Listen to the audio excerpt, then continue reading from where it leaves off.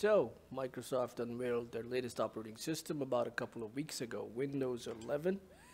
And this is, I've been using Windows 11 Pro, the first release preview, for about a week now. And I must say, I'm impressed. It looks great, has got this, this little fresh look, uh, and you know, some things here and there, which is which is really kind of nice. I mean, it, it, could be just me, but you know, I personally like the calendar a lot. Uh, it's much better than the the Windows 10 notification system and the calendar. So that that's uh, good some good stuff. You got the settings changed, and the whole look and feel of the operating system is different. And uh, so far, I, I, like it. Of course, there are a lot of uh, bugs, but uh, that's expected since it's the first release.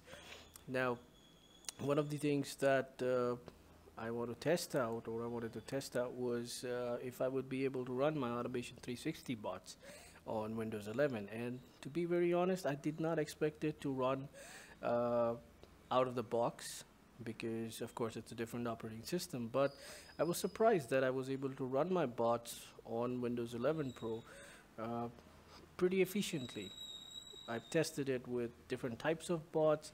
Uh, the only bots that I've faced a little bit of trouble with are the ones that I've migrated from version 10 or version 11. But in this video, I'm going to just uh, show how easy it is or how similar it is to running your bot on a Windows 10 computer. So here's my Windows 11 Pro machine and that's my bot. So we're running a simple bot which will run and print a pattern like this on a notepad. So let me just close this for now. First let's try and connect the device. Now I've already installed the bot agent uh, but this device is not registered. I've updated my device username and password here. I'll just hit connect connect to my computer. Just follow the on-screen instructions and the bot agent will be connected. Let's name this as Windows 11 Pro so that I know which device this is. And that's pretty much it. The device is registered connected and we can just give this bot a run.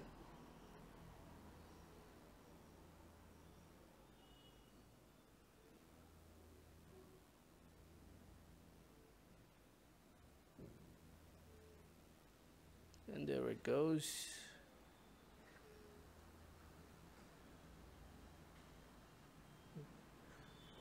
great the bot was successful. So uh, so far I'm able to run pretty much all sort of robots uh, I'm sorry all sort of bots on uh, Windows 11 Pro computer without a lot of trouble and uh, I think it's going great. Let me know in the comment section below if you want to know how I got this Windows 11 Pro set up on my virtual box and I'll probably uh, put out a video about that. Thanks for watching and see you on the next one